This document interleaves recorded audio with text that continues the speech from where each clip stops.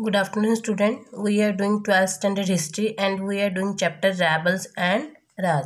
Today we will start new topic of this chapter. This is the third point of this chapter. What the rebels wanted. Rebels मतलब जो क्रांतिकारी थे वो क्या चाहते थे As the victors, the British recorded their own trials and tribulations as well as their heroism.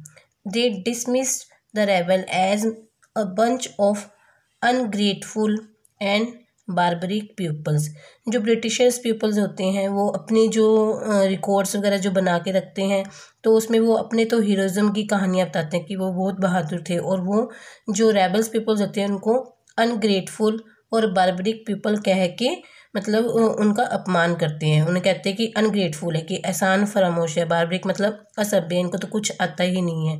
The repression of the rebels also means silencing of their voice.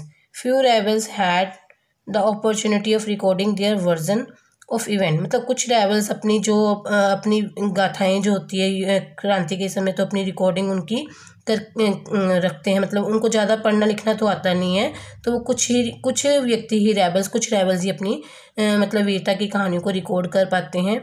More ever most of them were sipahi and ordinary people who were not literate जो rebels में बहुत सारे अधिकतर सिपाही या ordinary people जो होते हैं, वो लिटरेट नहीं कर पाते मतलब लिख पढ़ नहीं सकते।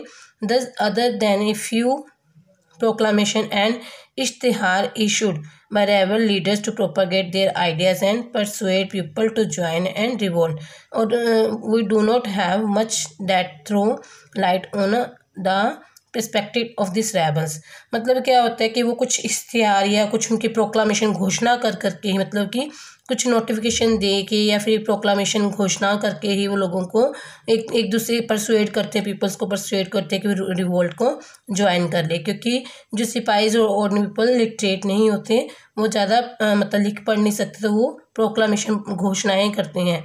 घोषणा करके वो लोगों को अपनी रिवोल्ट में शामिल होने के लिए पीपल्स को परसुएड करते हैं।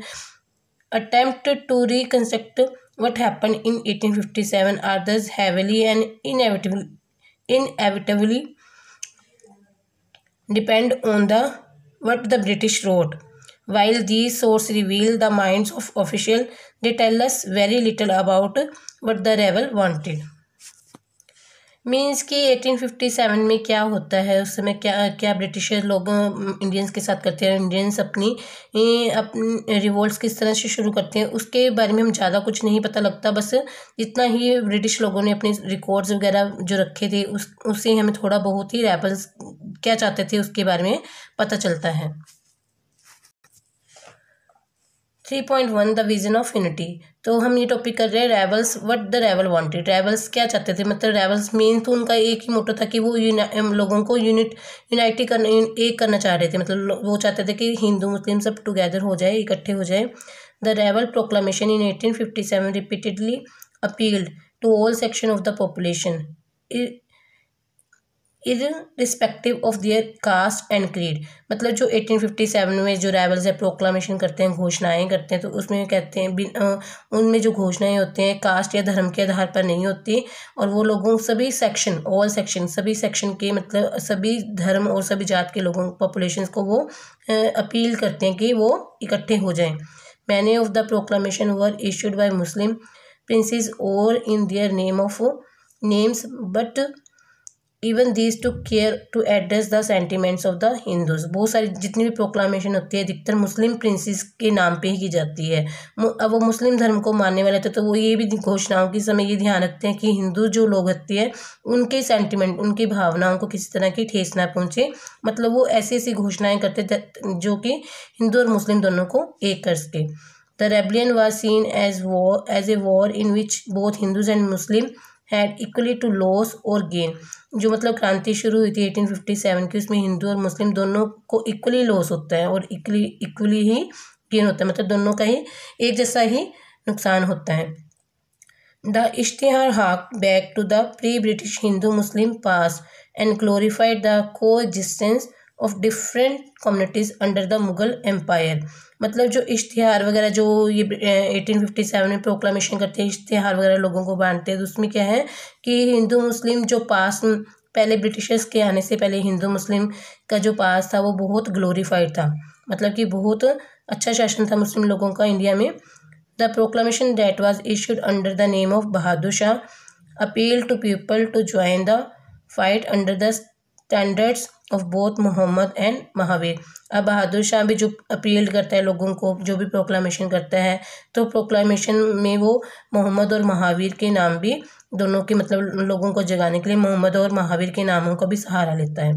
It was remarkable that during the uprising religious division between Hindus and Muslim were hardly noticeable despite British attempt to create such divisions but आमतौर पे क्या देखा जाता है, जो ब्रिटिशर थे, उन्होंने क्या अटैम्प्ट की हिंदू और मुस्लिम को बांटने की मतलब उनको डिवाइड करने के लिए कोशिश करते थे। जैसे बहादुर शाह ने लोगों को अपील की और वो हिंदू और मुसलमान को इकट्ठा कर रहे थे, लेकिन जो ब्रिटिशर चाहते थे कि वो हिंदू और मुसलमान मुसलमान जो है, हिंदू और मुस्लिम जो पीपल्स हैं, कभी भी इकट्ठे ना हो। तो उन्होंने इन बरेली में, वो क्या करते हैं, इन बरेली इन वेस्टर्न उत्तर प्रदेश उत्तर प्रदेश में जो बरेली है, वहाँ पे December eighteen fifty seven Britisher spent fifty thousand to incite the Hindus population against the Muslim the attempt fail तो जो हम देखते हैं कि ब्रिटिशर जो है हिंदू मुस्लिम्स को डिवीज़न करने की डिवाइड करने की कोशिशें करते थे उसके लिए वो उत्तर प्रदेश में बरेली में दिसंबर एटीन फिफ्टी सेवन में ए, मतलब इन हिंदू मुस्लिमों के झगड़े को इंसाइट मतलब भड़काने के लिए फिफ्टीन थाउज़ेंड रुपीज़ भी देते हैं लेकिन वो उनका जो अटैम्प्ट होता है वो फेल हो जाता है। तो हमने इसमें क्या देखा कि वट द रेवल वांटेड रेवल जो क्रांति थे, क्रांतिकारी थे, वो क्या चाहते थे कि हिंदू और मुस्लिम एक हो जाएँ यूनाइट हो जाएँ, लेकिन जो ब्रिटिशर पीपल है, उनको एक नहीं होने दे रहे थे, क्योंकि अगर वो उनको डिवाइड करेंगे, तभी वो अपना सक्सेस हासिल करेंगे। Okay students it's enough for today have a nice day